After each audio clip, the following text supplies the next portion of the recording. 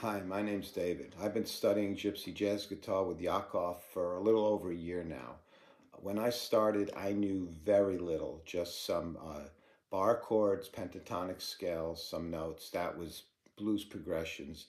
That was about it. Um, now I'm playing arpeggios, accompaniment, uh, learning lots of different songs and melodies, and more than anything, understanding how the music works and how the progressions work, which is, of course, integral to, um, to, to, learning how to play properly.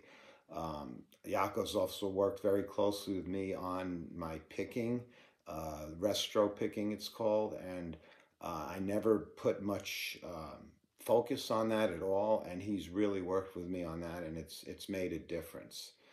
Um, his method of meeting with him once a month and getting goals to work on and working on some problem areas, uh, difficult areas, uh, is extremely helpful. And then I also meet with Michael uh, whenever really you want to, but you know once a week in general um, helps also with any problems or you know, questions I might have.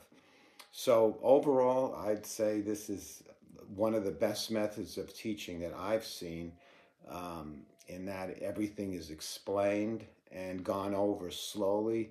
Also having access to Yaakov's entire library is incredibly helpful. Uh, if you feel like a song that it's in his library, you can just go to it and uh, work through the, the video.